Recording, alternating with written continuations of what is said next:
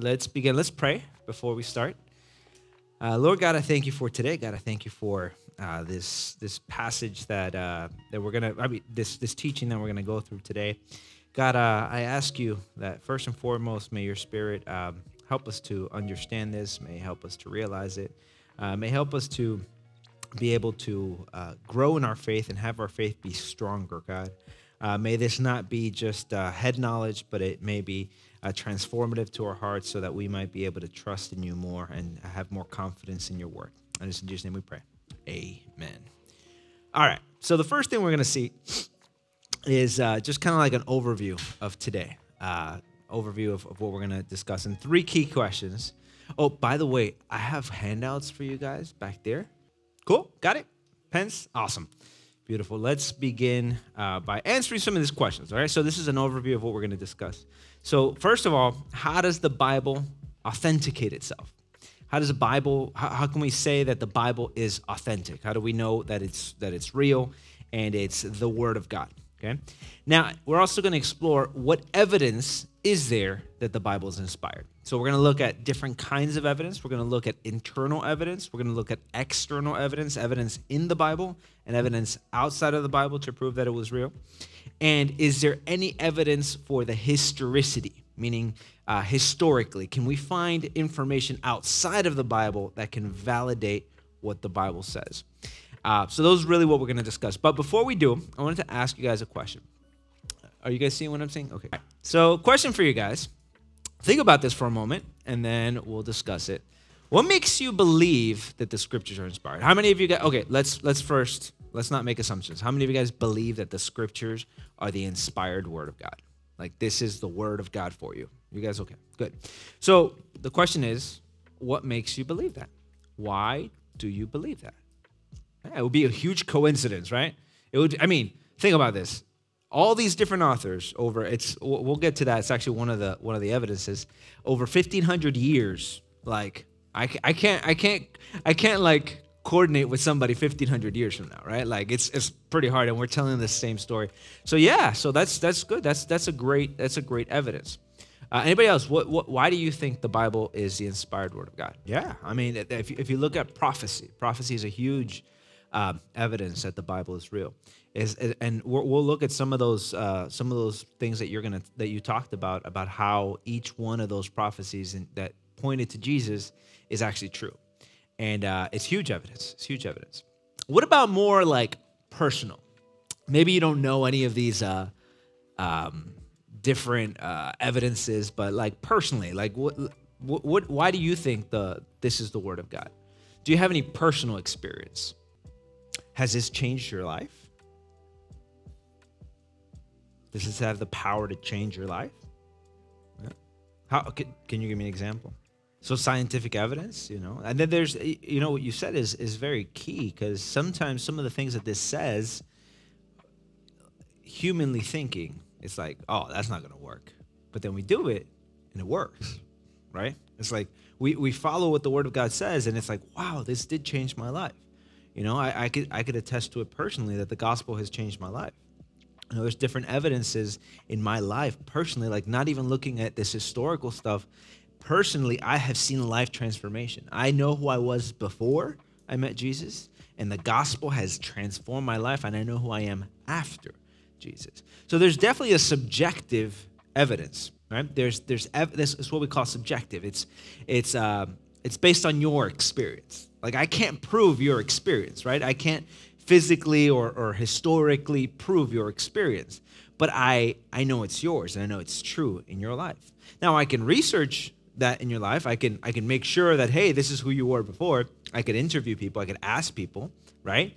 Were they really like this? Was Gabe really like this before? Was Allison really like this before? And now I look at your life and I see that that's different, and I could see evidence of that that was true and evidence that your life has changed, right? So there's definitely subjective evidence, and uh, you know sometimes we might think Com- coming into something like this, we might think, okay, but why do we even need to go through some of this stuff? Why is it that we need to find proof of the Bible? And we're going to talk about different evidences. So there's four, there's seven things that we're going to discuss First, I, I always messed up in this word, so uh, just uh, give me grace, okay?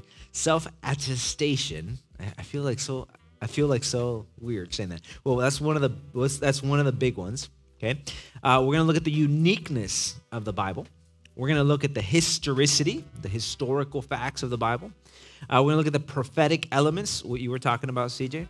We're gonna look at the testimony of Christ and how, honestly, that is where everything hinges on.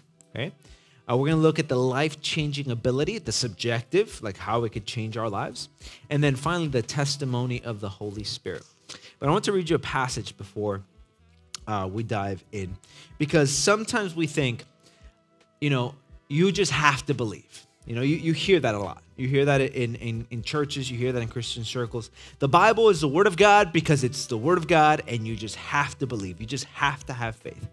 And that's true. That, that, that is very true. Faith is the way that we can come to God.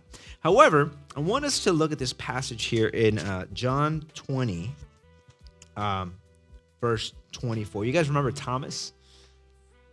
Doubting Thomas. That's how we know him, right? Doubting Thomas. Why was he doubting Thomas? He just got a nickname. Why was he doubting Thomas? I'll believe it when I see it, right? And here's here's the thing about this passage. So context wise, if you don't know the story, uh, so Thomas is one of the 12 disciples, walked with Jesus throughout all his ministry, saw him die, saw him on the cross, saw him buried into the grave, was there when they put the, well, I don't know if he was actually there, but when he saw that Jesus was put into a tomb, right? Roman soldiers and everything. And now they're telling him, no, no, no, Jesus is no longer dead. Jesus is now alive. He's resurrected. He's like, nah, like, like what many of us think, right? There's no way. There's no way that somebody resurrected from the grave. There's no way that he is alive, living, and breathing.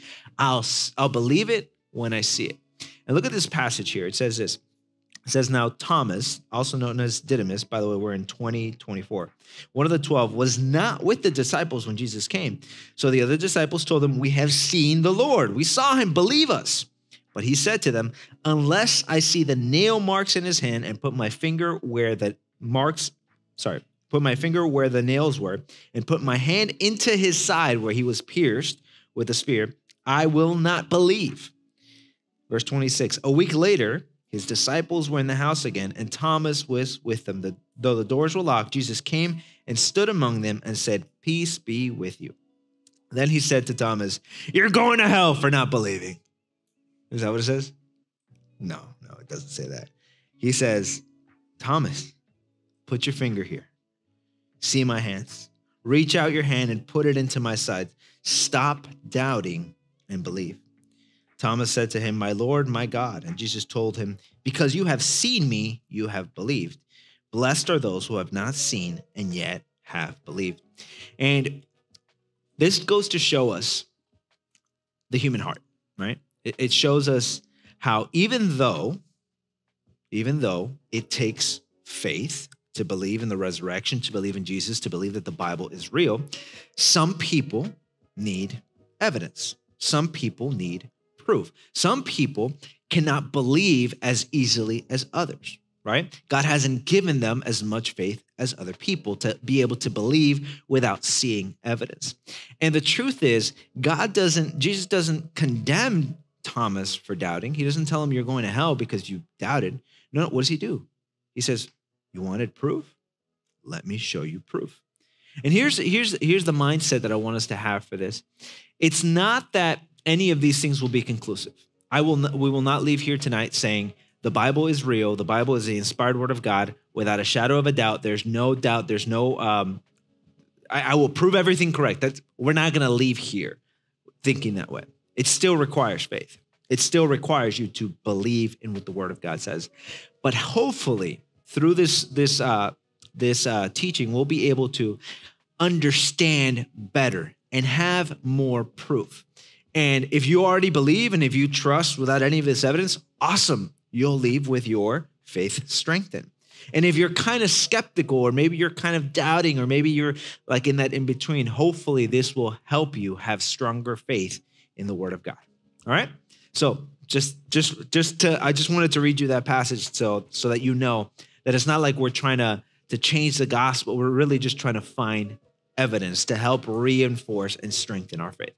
So the first thing, which is really important for any book, for any document, to prove that it is uh, a divinely inspired document, is self attestation. Okay. And what this means is that in and of itself, it says it's the word of God.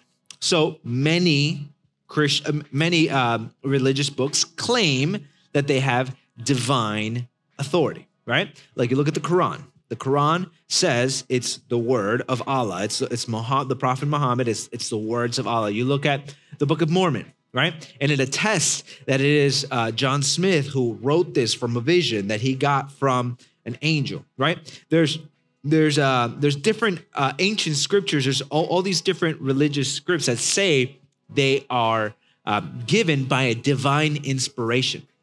And here we're going to see how the Bible also has this self-attestation. Okay, a couple of passages talk about this, and it's it's it's said in many different ways. One of the ways is throughout a lot of the Old Testament, especially prophets, would say, "Thus saith the Lord." This is what God says. So, in other words, these are not my words. The writers of these, these texts many times would say, These are not my words. These are the words of God. This is a message from God. This is a prophecy from God. This is a, a, condemn, a condemnation from God. These are the words of God. These are not my words, right? And so we see that throughout all of the Old Testament. A couple of key passages in the New Testament that we'll see is 2 Timothy 3.16. Okay? It says, um, it says, for all scripture is God breathed, and it is useful for teaching, for rebuking, for correcting, and training in righteousness, so that the uh, servant of God may be thoroughly equipped for every good work. And so we see that in that passage, it says that it is God breathed, it is the word of God. We see uh, 1 Corinthians 2.13. Let's turn to that one. Um, I don't have any of these passages up, by the way, so we're going to be using our Bible quite a bit. So I encourage you guys to open up your Bibles to these passages when I when I tell you. So 1 Corinthians 2:13 it says this. This is what we speak, not in words taught us by human wisdom, but in words taught by the Spirit, explaining spiritual realities with spirit taught words. So, in other words, Paul is writing here to the Corinthians. He's saying, I'm not teaching you my own wisdom. I'm not teaching you what I learned in seminary or in school. I'm teaching you the words of God that were revealed to us by the Holy Spirit. So it's attesting to its divinity, right? Uh, Hebrews 1, uh, it, it, talks, uh, we don't have to turn to that one, but it says, In these days, God now speaks through his son. He has spoken to us in the past through the prophets, through his creation, and now he speaks to us through his son. It's attesting. Let's turn to Second Peter 1. That one might be a little bit harder to find, but uh, if you know your like Bible song or if you have a Bible app, it's a lot easier to find. Uh, 2 Peter 1 20 through 21 says this. It says, Above all, you must understand that no prophecy of Scripture came about by the prophet's own interpretation of things. For prophecy never had its origin in the human will, but prophets, though human, spoke from God as they were carried along by the Holy Spirit. So the Bible itself says this is the word of God. It's self attesting to its divine nature. Okay? Um, but here's the problem any type of scripture, any type of religious book could claim that without actually showing proof. It's what we call circular reasoning, right? We believe the word of God is the word of God because it says it's the word of God. But how do you know it's the word? Because it says it's the word of God. But like, how do you? Because it's so you see how it's that circular re- reasoning, right? It's it's not. I, I don't want to say that it's not proof. It is very big evidence, and a lot of people just based on that will believe and have faith. But it's not the only evidence that we have. And it is, but it is needed criteria. We do need the Bible to say it's the word of God. Because if the Bible never claims for it that, that it is the word of God, then we can't assume that it's the word of God. But in many times and many places, the word of God says, this is the word of God. All right. So moving on, The next part is uniqueness. Uniqueness. Now, here we're going to go into a little bit of statistics, okay? And uh, the reason why is because this is the most unique book in the entire history of the world, okay? It is, it is extremely unique, and there's a lot of things that make it unique. We're going to go through a couple of these different things. So, just to give you context, the Bible is a collection of 66 different books. It's not one book, it's 66 different books. As a matter of fact, the reason we have books in general, like the fact that you have books, is because of the Bible. The Bible was the first one to be created into what they call the Codex. There were all these 66 different scrolls that they decided, hey, you know what? We need this in one volume. So let's create a codex and let's put it all into a book. Let's bind it. And that's what they called the Codex, right? There was different codex, Codex Vaticanus, a lot of different ones that that they started with. But the reason you have books in the first place is because of the Bible, all right? Because people wanted to be able to read the Bibles. But it's not one book, it's 66 different books, right? And all these of these 66 different books, it's made up of different genres. You have poetry, you have narrative, you have prophecy, you have apocalyptic literature. You have all these different imageries in the Bible. And it's written by over 40 different authors. Okay, maybe less, maybe more, depending on who wrote, like the book of Hebrews. We don't know who wrote that. We don't know a, a couple of the authors in the Old Testament of, of those different books. Uh, but we know that it's about 40 different authors who wrote the, the Bible. And it's not just like the religious leaders who wrote these things. It's a whole bunch of different kind of people, right? You have John. John was a fisherman. He wasn't he wasn't like a scholar. I mean, eventually he learned how to write and all that stuff because that wasn't very common in that time. But you have a fisherman, you have a tax collector, you have shepherds, you have kings, you have uh, Solomon and all his wisdom. So the range of of different kind of people who wrote this are completely varied. It's not like you had to be a scholar or a priest in order to write part of the Bible. It's written by different kinds of people.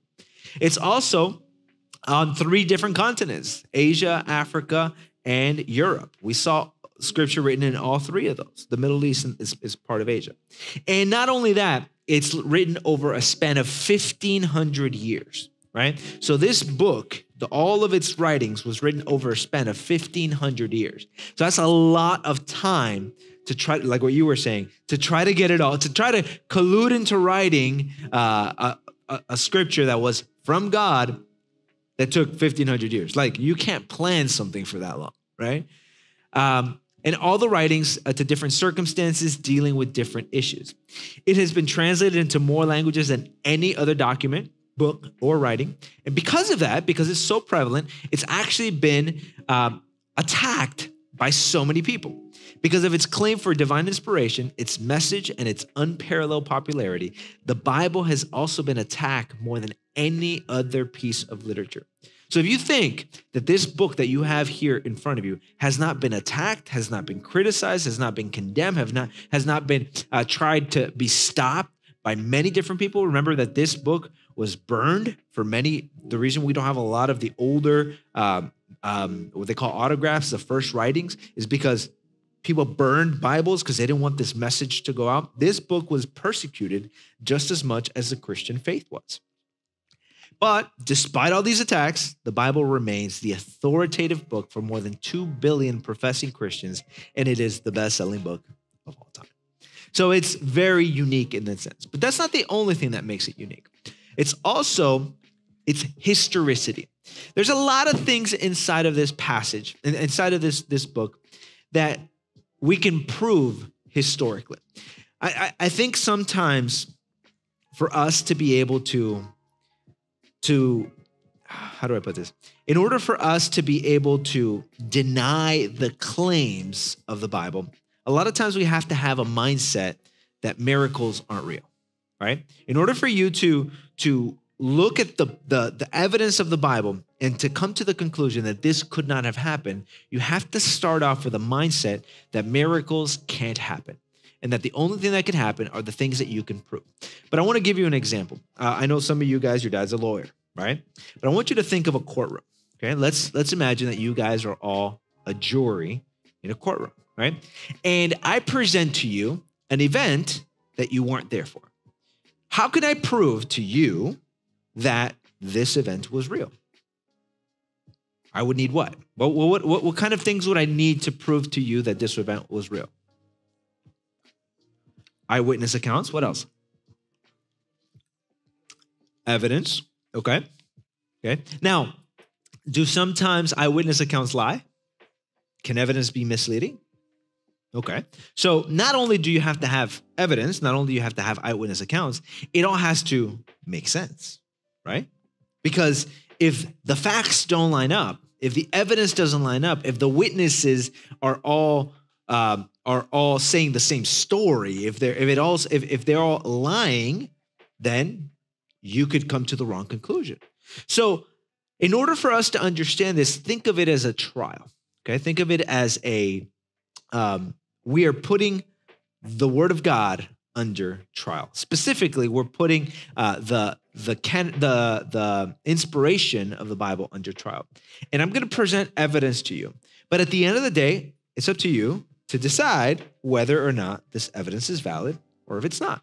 Whether you agree with it or whether you do not. So, I'm going to give you guys a couple of things about the historicity of the Bible. And there's two kinds of evidences that we see. So, there's internal evidence, evidence within the Bible that prove that it's real. And we're going to spend a lot of time on historicity, by the way. So, prepárense, get ready. All right. And we're also going to look at external evidence. So, evidence coming from outside of the scripture. Okay, so internal evidence, evidence inside, and external evidence, evidence outside of the scripture. By the way, you guys good? Are we guys following, tracking along? It's good for you? Okay, good. Um, so four key things in internal evidence. This is this is all in your in your packet, by the way.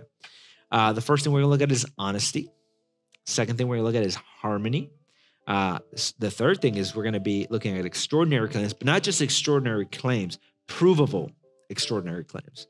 And then D, the lack of motivation. What's the motive? If somebody made these stories up, what was the point? You know, in a, in a trial, you got to have what? You got to have motive, right? If there's no motive, you why did somebody kill somebody else? Like you got to have the motive. You got to explain the reasons why. So let's break these down. Let's start with honesty. So one of the funny things about the Bible is that it does not shy away from talking about the mistakes of its people. It doesn't stop talking about it, it doesn't um, cut itself short by the uh, like okay let, let, let, me give you an example. If you guys were ever telling us like you got in trouble your mom heard uh, uh, it, something happened in your house right when you were growing up and then your mom asked you what happened? How did you guys tell the story very differently, right? How, some, sometimes I have kids, so sometimes I'm like, I hear one story and then I hear the other story, and I know that the real story is what? Somewhere in the middle, right? Like my older daughter is like, oh, no, because she did this and she did that and she did this and she did that. And it's like, okay, well, that sounds really bad. Like, wow, she's pretty evil, right? like, that's not good. And then she, and then I hear her side of stories, like, well, the reason I did that was because she did this and she did that. She's like, uh, when we tell stories, do we try to make ourselves look good? Do we try to make other people look bad? So if the motivation was for if the motivation of these authors was to make God look good or make themselves look good, would they write stories about their failures, about their sins, about their shortcomings? No, right? And yet, we see that all throughout the Bible right? It paints, it, it, never paints this glorious picture that you would expect from a legendary material. There are some of that, there is some of that in the Bible, okay? But it shows people in all of their worst moments. I'll give you an example King David, right? King David was a shepherd, man after God's own heart. He's a, a great leader or a great king, but he failed morally, right? Like if I was David and I was a king and they were writing a history about me, I would probably say, like, hey, let's leave that whole part out. Like the whole like murder, adultery thing. Let's just not include that part in there, right? Let's include all the good stuff. Actually, there is some books that that that have you guys ever read Chronicles? Maybe no. Have you have you guys ever read the Book of Kings? King, First, Second Kings, First, Second Chronicles. Okay, you know that they're parallel accounts, right? So it's the same story in two different um, in, in two different depictions. If you look at the book of Kings, you see all of the moral failures of David. But the purpose of that was to record history. If you look at the book of Chronicles, you don't see any of the bad things that David did. David is looked if you only had Chronicles, you would never know all the bad things David did. Why? Because the point of the book of Chronicles was to paint in the, in the light the people of Judah in, in, in a positive light. And so there are some that, that are painted in that image, but you also see the recording of the bad things they did. I mean, look, look, look at all of the the the. I, I think in, in your in yours you have a list of some of the people that all the evil things that they did, right? Like uh, Abraham was a was uh, he he he like tried to give his wife to the king. Uh, like okay, think about this: John, the apostle John, right? The last book of the Bible, Revelation, right? He writes it down. He's done. He records the greatest things like in heaven. This is where we get all of our imagery from what heaven's going to look like. And then at the end of the book of John, the man gets in front of an angel and he, he starts bowing down and worshiping an angel. Like if I was John writing that part of that book, I would maybe not put that part in, right? Like the, angel's like, what are you doing? Get up, stop worshiping me. Like you're not, I'm not Jesus. Like stop worshiping me. So that's it records all of the failures of people. So this this goes to show you that if you were gonna make up a story, you wouldn't include all of the bad parts of yourself. You also wouldn't include a lot of things that are difficult to understand. There's a lot of passages in the Bible that are difficult to understand. If you were making it up, you would maybe kind of like smooth things over, try to make things easy to understand. But there are so many um, aspects of the Bible, the, the Trinity alone, right? Like maybe they wouldn't have maybe maybe if they didn't include all of these passages that refer to it maybe it would be easier for us. But no they include it. Why? Because it's something that deals with the tension in our mind right? Uh, this this guy A.W. Pink wrote this about the divine inspiration of scripture he says this he says a forged history a, a made-up history would have clothed friends with every virtue. You would have made yourself look so good, so awesome, and would not have ventured to mar the effect designed to be produced by uncovering the vices of its most distinguished personages. Here, then, is displayed the uniqueness of Scripture history. Its characters are painted in the colors of truth and nature, but such characters were never sketched by a human pencil. Moses and the other writers must have written by divine inspiration.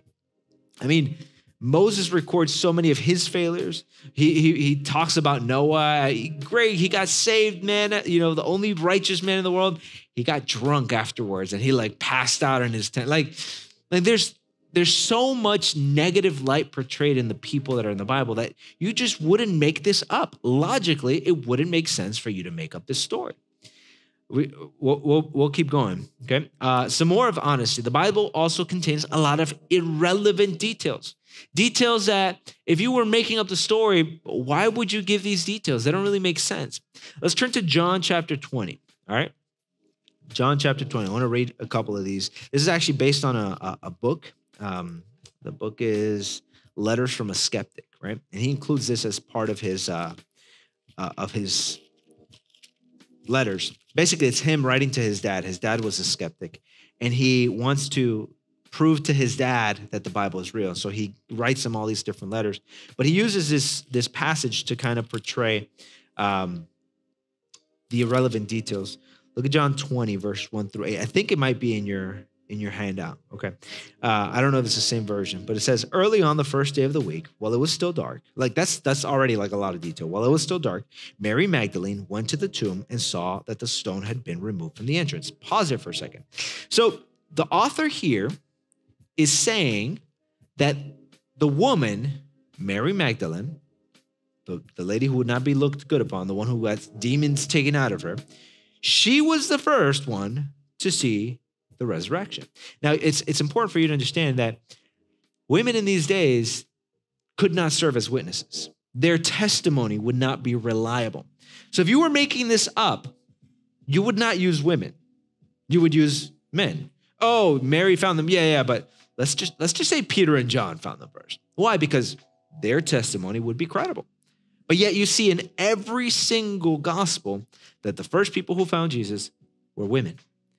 And this, this, if you were making this story up, you wouldn't use women. Why? Because it wouldn't be credible, unless you're just recounting what actually happened, unless you're telling the story legitimately, right? And so it, it, it, says Mary Magdalene. So it keeps going. It says, went to the tomb and saw that the stone had been removed from the entrance. So she came running to Simon Peter and the other disciple. And by the way, this is talking about John. He's this is his humble way of, of uh, portraying himself. It says, the one Jesus loved and said, They have taken the Lord out of the tomb, and we don't know where they have put him.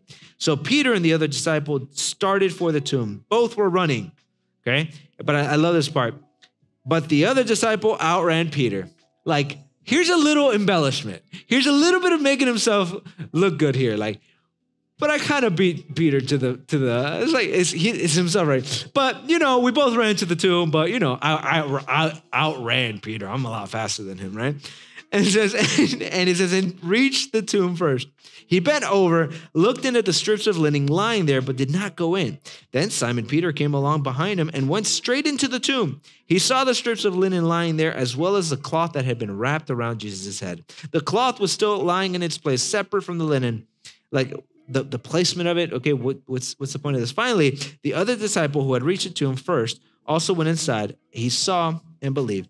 Now, I think in, in the other translation, it talks about how it, it had even been folded into its like, like, okay, that's irrelevant. Like, okay, Jesus folded his head garment before he left. Like, okay, he made his bed. Like, okay, you know what I mean? Like, what does that have to do with doctrine? If you're making this up, why would you include all of these irrelevant details? And the the Bible is filled with them.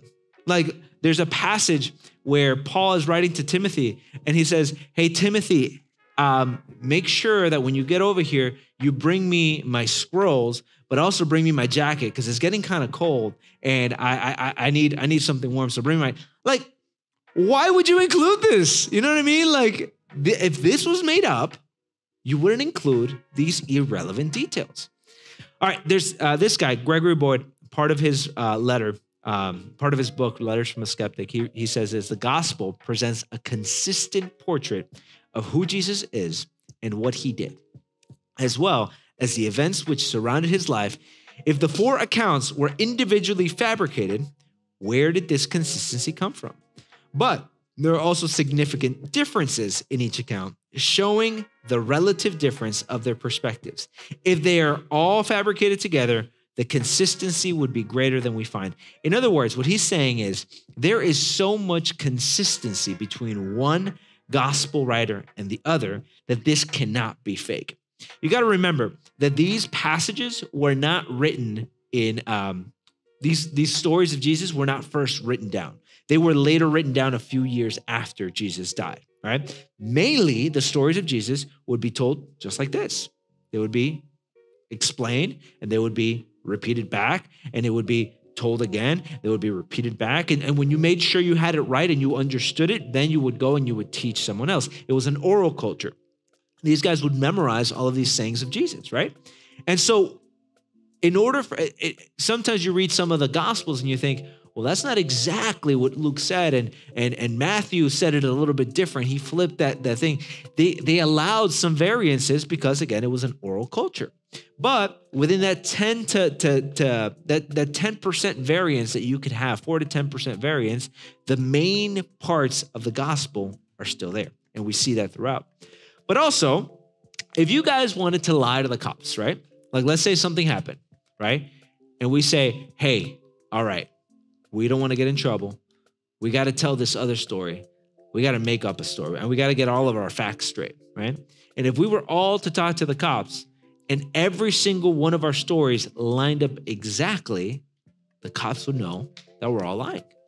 Why? Because if you're gonna, if you all have the same exact story from the same exact point of view, and you're retelling the same thing as if you practice it, then you know it's a lie. It's like when you and your sibling got in trouble. It's like, we're not telling mom. All right, this is what happened, right? We did this, we did that, we did that, and that's the story, and we're sticking to it, right? If that would have been the case, then you would look at Matthew, you would look at, at Mark, you would look at, at, at Luke, and it would be the same exact story. But we don't see that. We see some variances. We see Matthew focuses on one aspect of Jesus. We see Mark focuses really on the resurrection. If you've ever read Mark, Mark is like, yeah, yeah, Jesus was born, yeah. Now let's go into the crucifixion. Let's go. Like he gets to it super quick. Luke, who is a doctor and a historian, he's like, okay, let me make sure I get all these details right. Let me interview people. There are different perspectives. And so we see that if they were too different, we would know that it's probably not real. But if they were too similar, we would also know that they wouldn't be real. Um, let's look at harmony. All right, so despite the fact that scriptures are a collection of multiple compositions, so multiple people writing it, written by different authors, different personalities, purposes, cultural representations, writing in different genres on three different continents in three languages over a time span of 1500 years, the Bible has remarkable consistency that evidences one guiding author who superintended the writings. Sometimes when I'm preaching, um, I'll look at a verse, right? And when we have, when we look on, on Sundays, we look at a verse and then we use that text to preach on a specific subject, right? A specific passage. But that same passage is also referenced in another book, right? I look at Ephesians. Oh, well, let's reference that to Colossians. Oh, but wait, the Bible also writes about something uh, something about that in the book of Psalms. Oh, wait, and there's also prophecy about this in the book of Isaiah. Oh, and this all goes back to the book of Genesis when the fall and the so there is no way that all of these authors would have written with such unity, with such cohesion, when when uh, there is no contradiction as far as doctrinal issues. They all state the same thing. Peter says the same thing. Paul says the same thing. Matthew says the same thing. They all agree. And even in the Old Testament, Isaiah says the same thing. Ezekiel says the same. Like they're all based on the same principles. And so we see that you can't you can't collude with other people for 1500 years, not even for 10 years, right? You can't make this stuff up. But throughout the Bible, you see consistency. You see a specific attribute of God, and it's the same attribute from Genesis all the way to Revelation.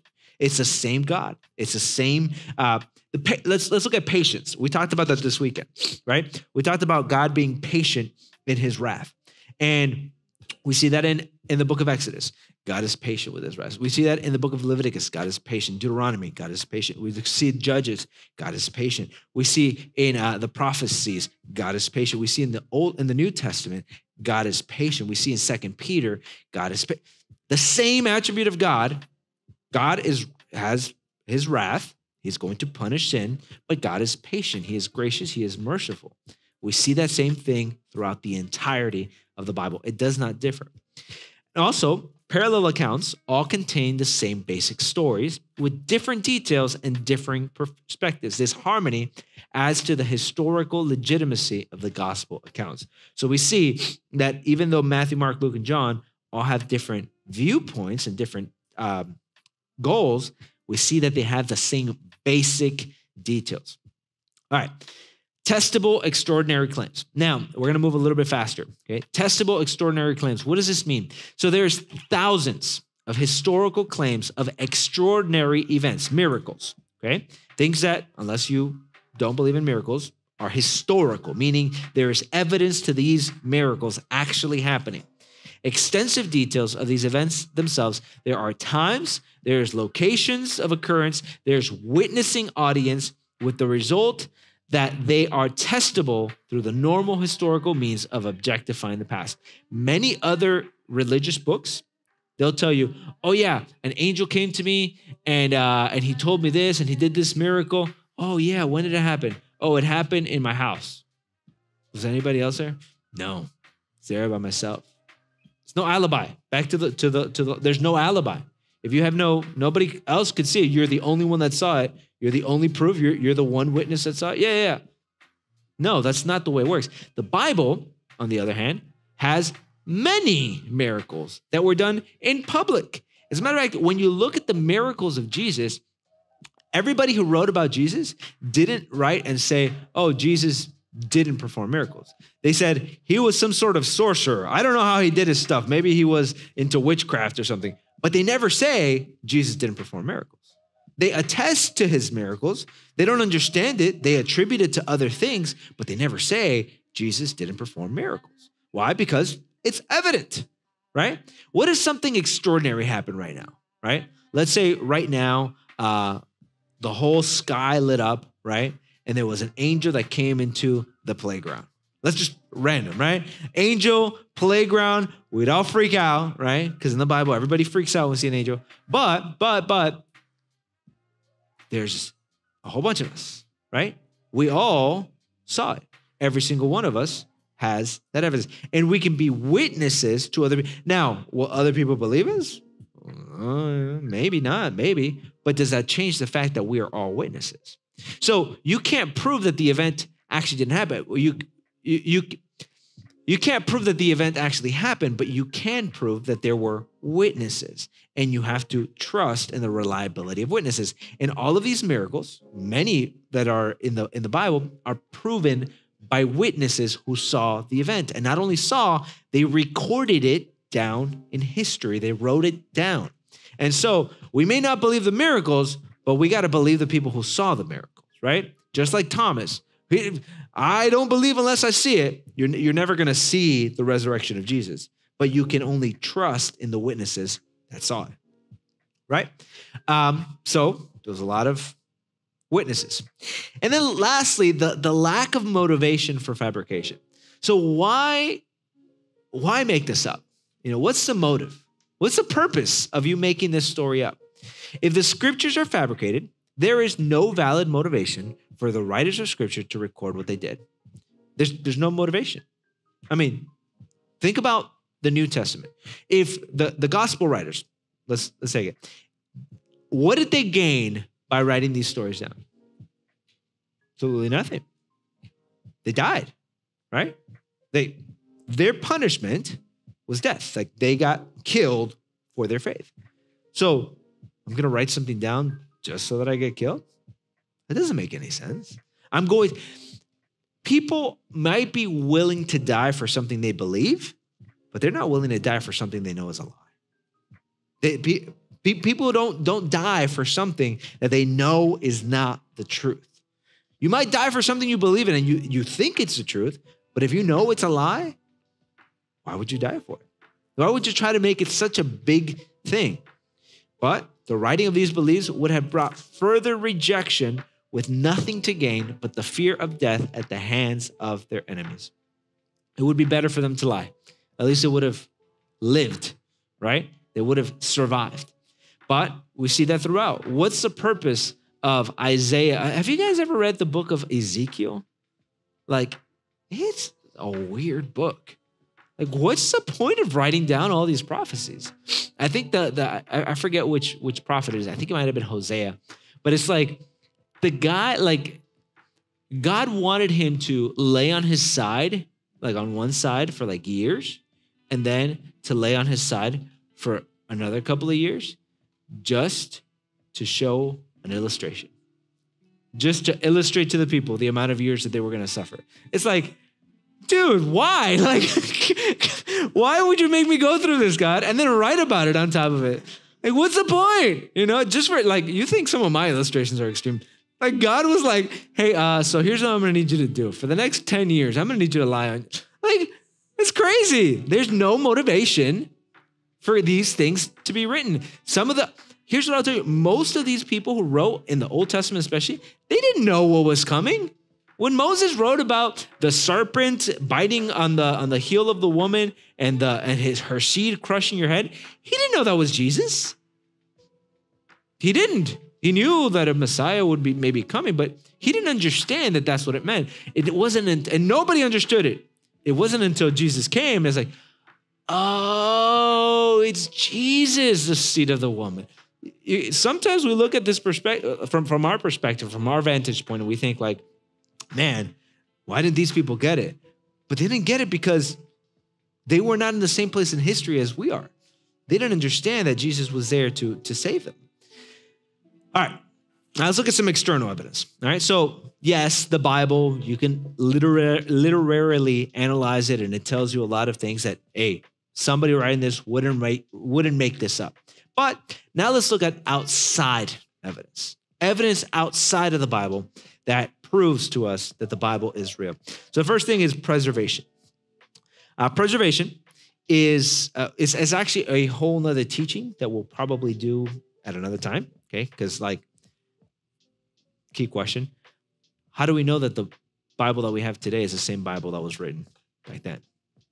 It's a good question to ask. We if we can prove today that it's inspired, that's great. But the original was inspired. How do we know that the one we have right now holding in our hands is actually the same one? How do we know it's the inspired? Well, that's that's actually like I said, that's a whole nother teaching, um, a whole nother time. Uh, but I will give you the brief summary of it, of it. So the Bible is the most well attested book in all of ancient history, with more extant manuscripts in existence than any other work. There are over, um, I believe, five thousand uh, manuscripts of the New Testament. Okay. Now we're going to focus on the New Testament for a little while. Okay. So the New Testament is one of the most uh, attested. There's there's so many copies of the orig- of of the original uh, Bible. There's so many uh, copies, ancient copies of that that Bible than any other book in all of history. There is no other. The, the next one that compares is Homer's Iliad, which was to the Greeks like their Bible, and there is a relatively short, small amount of copies, and the distance between when those copies were written and the original manuscripts are hundreds of years. The Bible has thousands of manuscripts, and the time between them is only a few decades. And so we can, that's that's one of the what they call um, I forgot the name of it. It's something like scriptural analysis. I'll, I'll, get you guys the word at some point, or it'll come to me as I'm talking. Um, so the uniqueness of its preservation is inherently tied to its self authentication as the Word of God. There is no book that has been the object of so much scrutiny, that means uh, studying, and passionate attack as Scripture, yet it survives today as the best selling book of all times. This alone gives attestation to its authenticity as God's Word being protected by His providential hand. So, in other words, this book has been so attacked, and yet there is so much evidence that this book is the actual inspired word of God.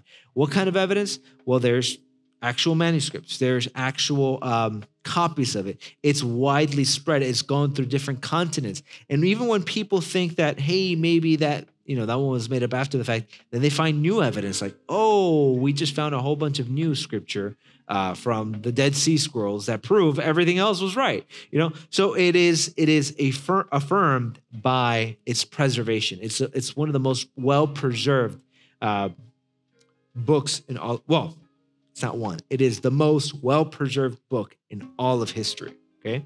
We have nothing that compares to its preservation. Archaeology now, this is key because the witness of archaeology has continually confirmed scriptural data. So, archaeology is the science of digging up old junk that is preserved, right? So they go into the ground, they dig it up, they find, hey, look, a coin. Hey, look, a potter, a piece of pottery. Hey, look, uh, an inscription. Hey, look, a piece of paper. Hey, look, there's information, uh, whatever, cities, buried like old ancient cities. And the more archaeologists have studied the more they have found the Bible to be true.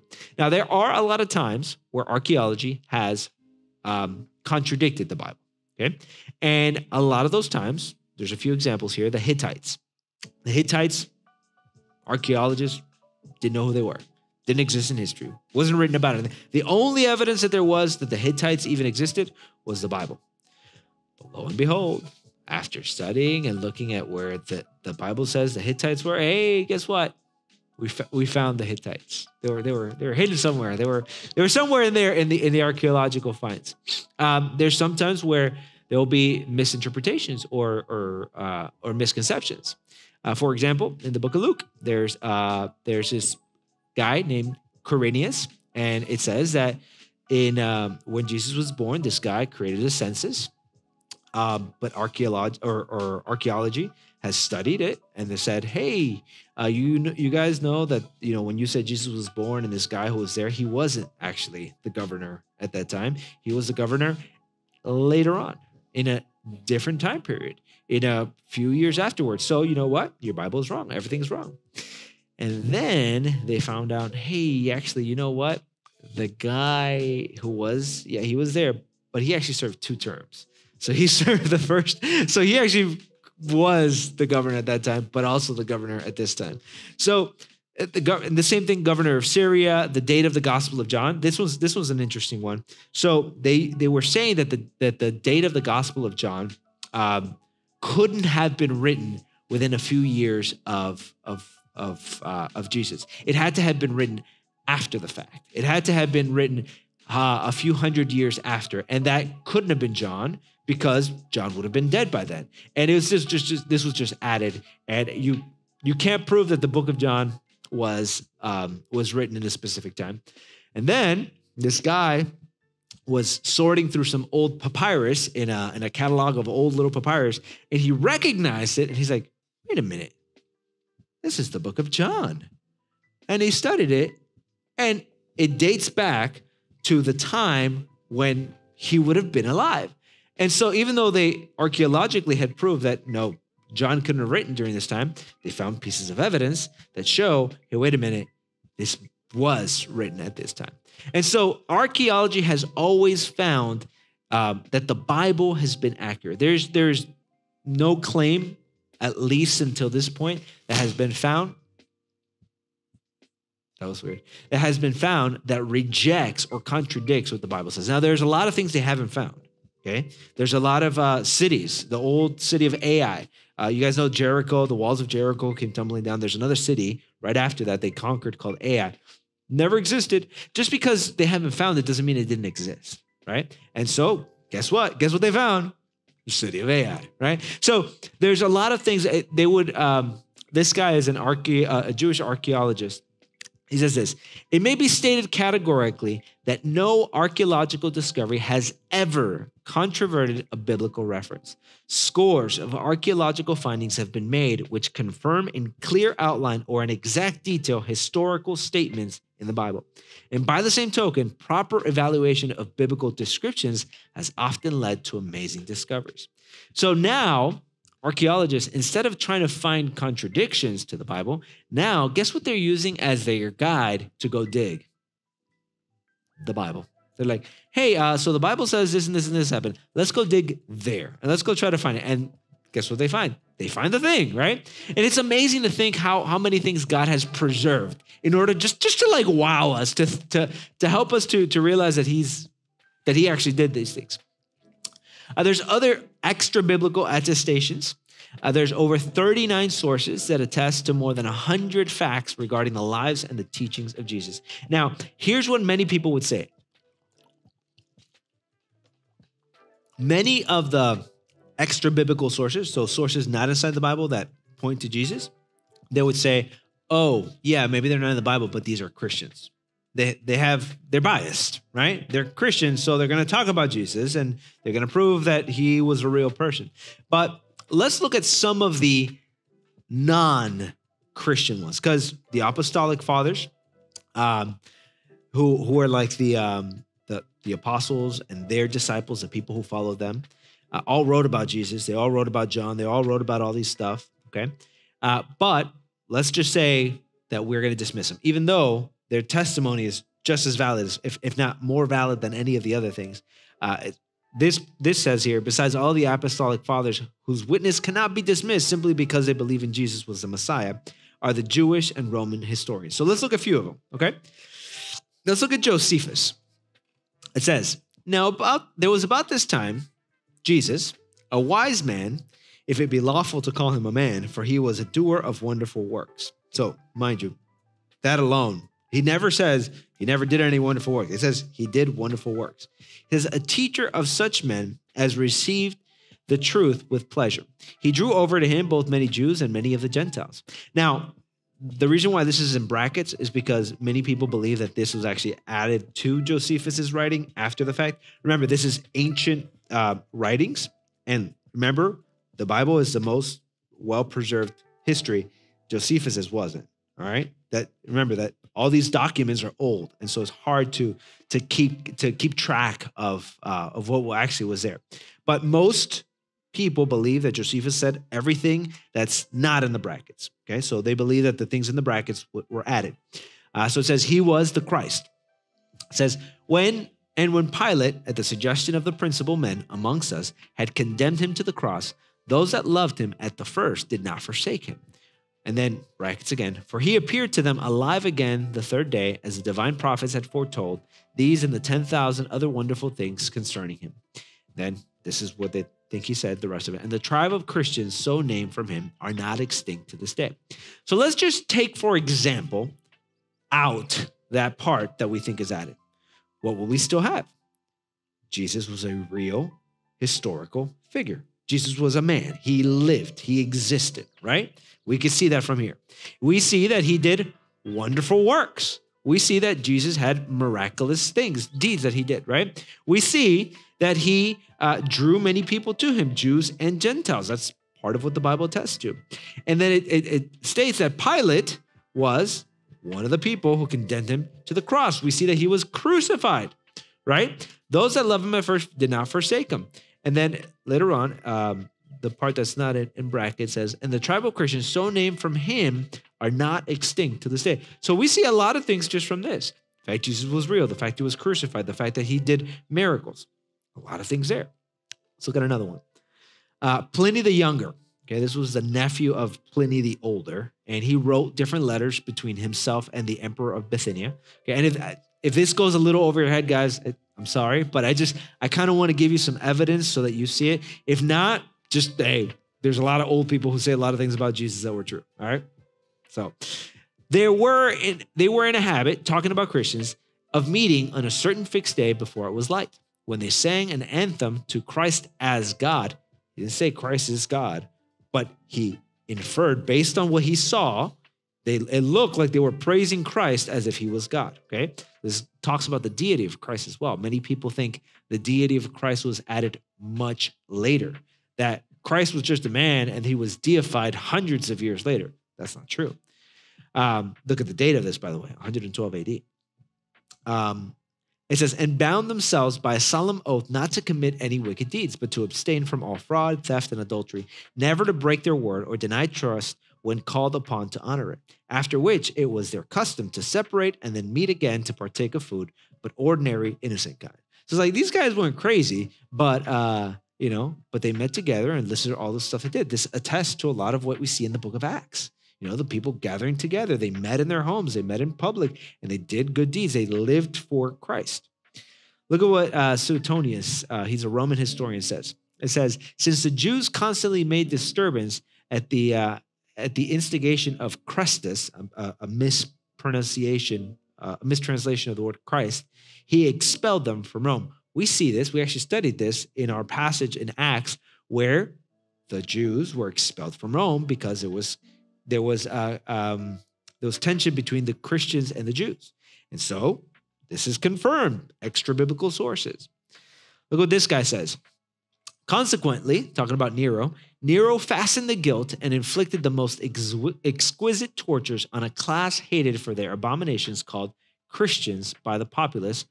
Christus, from whose name had its origin, suffered the extreme penalty during the reign of Tiberius at the hands of the procurator Pontius Pilate, Pilatus, and a deadly superstition, thus checked for a moment, again broke out not only in Judea, the first source of the evil, but also in the city. So here we have historians, not Christian, not people who believed in Jesus, not people who had any uh, anything to gain, talking about Jesus as if he was a real, physical, historical person. So we see that there is proof that Jesus was indeed a, a, a, living person. He wasn't a made up person, right? Now, here's another interesting one. This one I, I find really cool. Uh, so we actually don't have the writings of this guy Thallus, right? But uh, they were destroyed. But this guy Julius Africanus quotes this guy Thallus, uh, and look at what he says. You guys remember when Jesus died on the cross? There was a huge earthquake and the sky darkened, and it doesn't say why. Many people think, oh, if that were true, this miracle, miraculous thing, earthquakes and, eclipse and, and, and the blocking out of the sun happened, then it must have been written somewhere, right?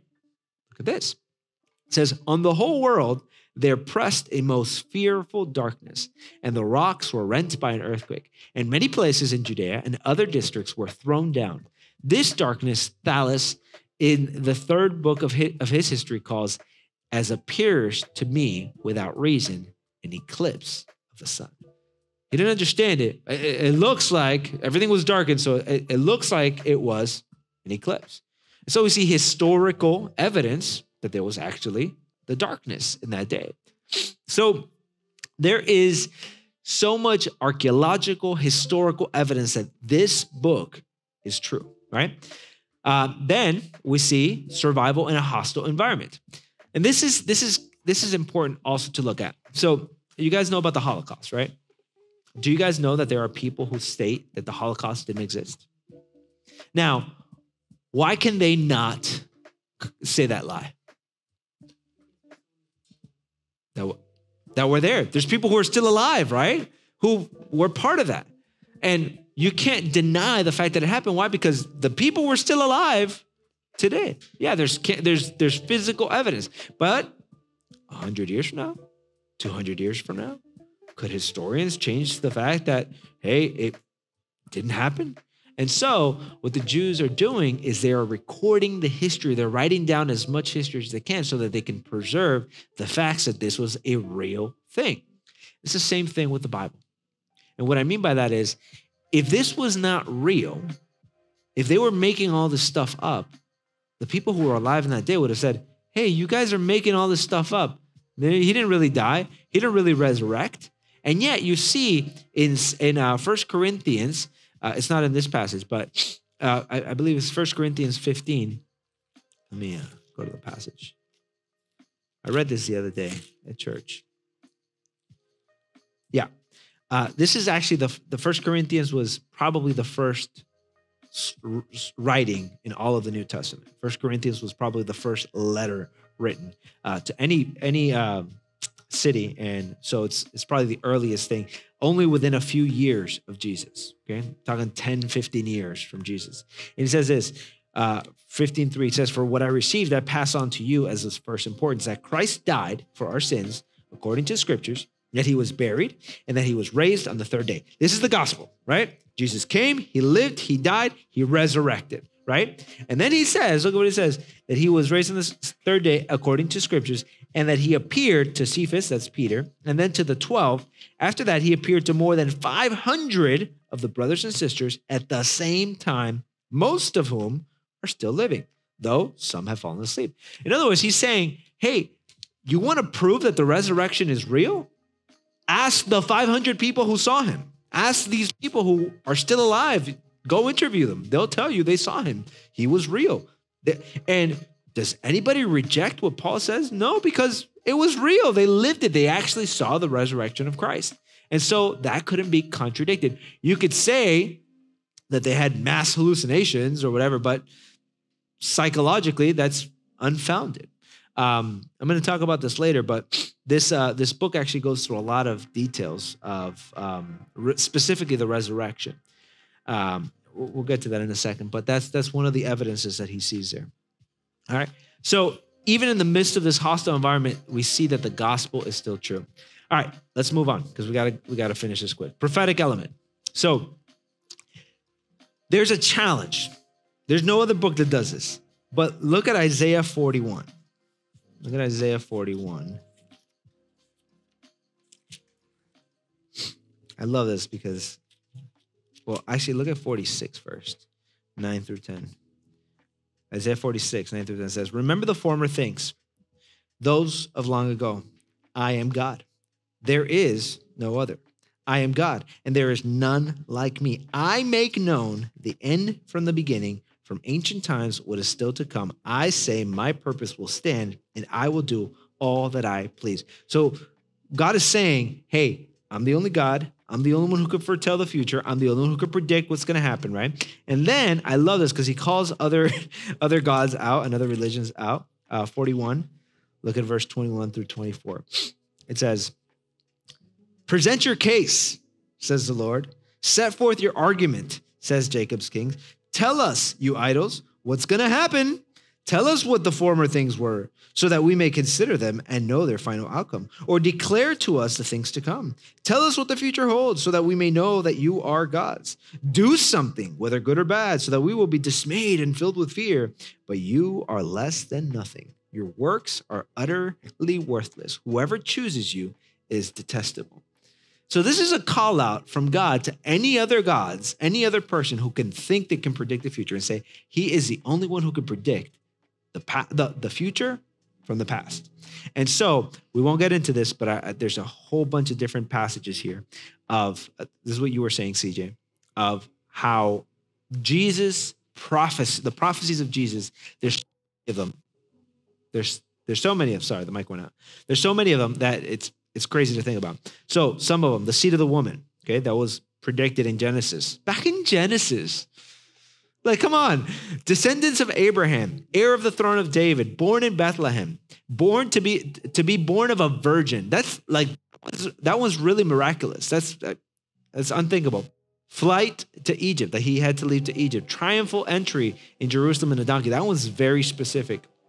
Uh, betrayed by a friend by 30 pieces of silver hatred without reason, crucified, time of his death specifically stated, preceded by a forerunner, declared the Son of God, a Galilean ministry, speaks in parables, a prophet, priest after the order of Melchizedek, to blind up the brokenhearted, to bind up the brokenhearted, rejected by his own people, the Jews, not believed. These are all prophecies about Jesus, and every single one is fulfilled by Jesus. All right. Um, I'm going to give this one to you for homework. But if you read Isaiah 53, you would think you're reading a New Testament passage. I'll read to you the first couple of lines. Who has believed our message, and to whom has the arm of the Lord been revealed? He grew up before him like a tender shoot and like a root with dry ground. He had no beauty or majesty to attract us to him, nothing in his appearance that we should desire him. He was despised and rejected by mankind, a man of suffering, unfamiliar with pain like one from whom people hide their faces. Um, look at verse four. He surely he took up our pain and bore our suffering, yet we considered him punished by God, stricken him and afflicted. But he was pierced for our transgression, he was crushed for our iniquities. The punishment that brought us peace was on him, and by his wounds we are healed.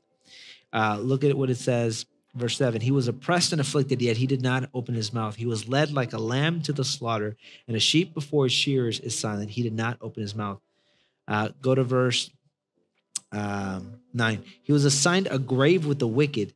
Okay, that we're talking about being uh, crucified with the with the with the thieves and with the rich in his death that means he was buried in the tomb of a rich man though he had done no violence nor was any deceit in his mouth yet it was the lord's will to crush him and cause him to suffer like you read this passage and you think you're reading a new testament passage right you think oh no this was written after jesus just to describe just to kind of make it seem good right but you look at this, this you, you look at the time this was written, it was written 700 years before Christ. Like how how good of a description of the crucifixion of Christ is that? And yet it was written 700 years before Christ. And if you, you know, some people say, okay, you know what? It was written after the fact. They added to the book of Isaiah. But you know what? They found the Dead Sea Scrolls. The Dead Sea Scrolls were found 150 years before Christ, and they said the same exact thing. Same exact thing. All the prophecies confirm. And so we see that this is actually before Christ. Next, this one's huge. And we're going to go a little bit over today. I hope you don't mind. Just we're almost done. Okay. So the testimony of Christ. So if you can prove the resurrection, if the resurrection is true, then everything else in Christianity falls into order. Okay. What do I mean by that? Okay. If you can prove that Jesus was a real person, he lived in this earth, if you can prove that he died, okay, like actually died, not fake died, like he actually died. And if you can prove that he resurrected, then everything else in the Bible falls in place. Why? Because if he resurrects, he truly is the Son of God. He is who he says he is. So that means everything else he says is true. And what does Jesus do? Jesus confirms the Old Testament. Jesus talks about the coming of the day of the Lord. So every single thing in the Bible lines up if you can prove that Jesus was the Son of God. So if you can prove the resurrection, then you prove that the Bible is real. So look at what it says here. It says the historical evidence conclusively demonstrates that Christ rose from the grave. The resurrection itself verifies his claims to be the Son of God. Since Christ is God's Son, his testimony concerning the inspiration of Scripture, because he says that this is the Word of God, is final and authoritative.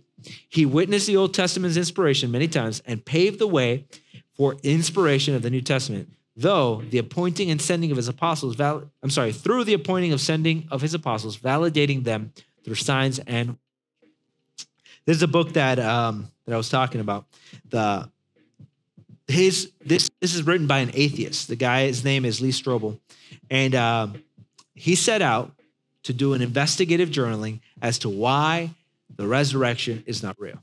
And he interviews a he interviews a whole bunch of people and after his interviews, after he sits down with all these people, he realizes hey, there is so much evidence that the resurrection is real that you have to have much more faith to disbelieve in the resurrection than to believe. And that's true. I mean, you, ha- you have to have faith to believe in the Bible, but you also have faith to not believe in the Bible. You have to believe that all this is false. You have to do away with all the witnesses with all of this proof, with all of this evidence, you have to reject it completely in order for that to be true. And so, this is a great book. I recommend it. Uh, it's free on Hoopla. I know I've shared you, with you guys that, um, but you can buy it too. The life changing ability. This is key for the lives of the believers. So, not only is this book historically accurate, but we see that it's the divine word of God because of the gospel. See, not only do we see all of these things are historically accurate, but we also see that it has the power to transform and change your life. When you apply these things, when you receive Christ as, as your Lord and Savior, your life is transformed. You see who you were beforehand and you see who you are now. You see how God has the ability to change uh, who you were. Look at what it says here. The scriptures demonstrate the characteristics of wisdom, discernment, and conviction that one would expect to find from the testimony of an omniscient creator. The things it says is hard sayings. These are not easy things. It's hard for you to live by these things, but if you live by them, your life will change, and not for the worse, but for the better. You will see growth, you will see a transformation in your life.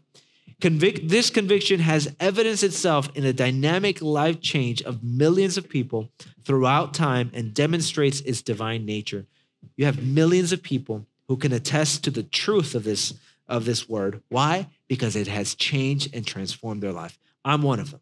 Hopefully you guys are as well. You guys can know that this is real because it has transformed your life. And uh, key verse here is Hebrews 4:12. It says, um, "For the word of the Lord is alive and active, sharper than any double edged sword. It penetrates even to dividing soul and spirit, joint and marrow. It judges the thoughts and the attitudes of the heart. So it, it not only do you read it, but it reads you. It changes you, it, it, it convicts you, it brings life transformation. Then the last one, we'll finish with this the testimony of the Holy Spirit. The, uh, the scriptures testify to themselves through the subjective testimony of God Himself in the mind, in the heart, in the soul of the individual, demonstrated that the message is proclaimed, the message proclaimed is truly the voice of God. Somebody asks you, How do you know this is the word of God? It, it's good enough to say, Because I know it's the word of God. His children know that this is the word of God. We can accept it. We can, we can identify ourselves with it. We have seen proof of it in our lives. We have seen God talk to us. We have uh, experienced times where things are too much of a coincidence, right? Like when you're praying for something specific and somebody says something about that, and then you read something in the Bible and that same thing shows up, and then somebody talks to you about it. It's like coincidence does not happen. We see the work of the Holy Spirit in the lives of the believers. Look at John 10, last verse. John 10, 26 says this.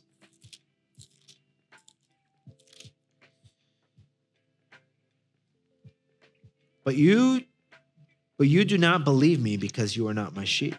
My sheep, those who are his children, says, "Listen to my voice. I know them and they will follow me. His sheep know his voice. We hear it, we see it, we see the life change in us. The testimony of the Holy Spirit, the fact that we can have a relationship with God is the last, well, at least in this one, um, evidence that the Bible is the inspired word of God. Excuse me.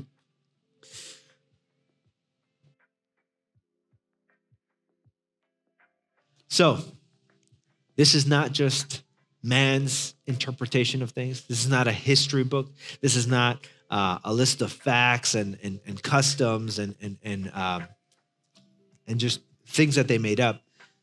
We see that this is the inspired word of God. We see it because it says it is. We see it because history proves it is. We see it because nobody in their right minds would ever make this up. We see it because historically, archaeologically, we find evidence. We see internal evidence. We see external evidence. We see the life transformation that it has. We see that the Holy Spirit convicts us that this is the Word of God. This is the inspired Word of God, and we can put our trust in it. I want to give you just a, a final example of just different religious books. I, I, have two, but you could do this to any other uh, religious book and compare them. Uh, if you look at the authors of the Bible, there's over 40 authors in the Bible. Uh, just for argument's sake, let's compare the Book of Mormon and the Quran. Both of those were written by one author, one person. Uh, the time that it took to write the book is over 1,500 years. Uh, the Book of Mormon was written in less than 50 years. The Quran was written, again, less than 50 years. Uh, the place, it took place over three continents, right? Different languages, three different languages Hebrew, Aramaic, and Greek. Three different languages. Uh, the Book of Mormon was one place, one language. The book, of, uh, the Quran was written one place, one language. Um, honesty, no. All, all these other books aren't honest. They they embellish. They give um, they give uh, extravagant. They they make themselves look good, right? There's there's not all these extra details. It's written to to prove something to you. It's not um, it's not honest about its characters. They're all portrayed in this great light. John Smith was an amazing man. He never did anything wrong. Like um, irrelevant details. No, they all have only relevant details. Uh, testable, extraordinary claims. This doesn't mean that they don't have extraordinary claims. They they talk a lot about miracles and things like that but none of them could be proven. Why? Because they all happen in these like obscure places that nobody could prove and nobody could attest to, and there you can't you can't uh, figure it out historically. All right, these were all hidden miracles that they did. Uh, supposed to say testable prophecy, uh, prophecy that you know foretold like this happened before, then a period of time, and then this happened. I mean, look at the, look at the Old Testament. I mean, sometimes we think, okay, Old Testament predicts the New Testament. But if you look at the Old Testament, it predicts uh, historical events. It predicts the fall of Babylon. It predicts the fall of Assyria. It predicts the the the the the fall of all these different nations, and then it happened. You know, like it predicts these, and it happened exactly as the Bible said. It predicts the coming of the Greeks. It predicts the coming of the Romans. It predicts all these different things, and then you see it historically happening. All right, no other book has that uh, prophecy that's actually fulfilled. They have prophecy, but it's, it's not testable. Um, lack of motive for fabrication. Um, what was the purpose of making it up? Like they were going to die. That was that was the purpose. These other guys, yeah, we knew religion or whatever. So the Bible's the only one with that. Just do the other ones have life changing ability? Yeah, they might. They, they can say, "Hey, this will change your life." The Quran might change your life. I mean, I don't know. Um, the testimony of the Holy Spirit, it, it tells them, I guess, their their interpretation of the Holy Spirit tells them that their book is real, right? Or claim for divine inspiration. They all do that. They all claim that they are divinely inspired. But uh, again, none of these other writings have the kind of backing that this has the historic, the archaeological finds. Uh, this is the only one. And so, with that said, these are the nails. This is the the, the side of Jesus, showing you, hey, not only is the word of God real, he could prove it to you. He could show you. And this is all evidence. And if you needed that evidence, good. Maybe now you can believe a little bit more. Um, if you already had your faith and you already believed in God, good. Your faith is stronger because now you know that your faith isn't just based on fairy tales, it's based on actual historical fact that can be proven that God has preserved just for us to be able to do this. Um, any questions?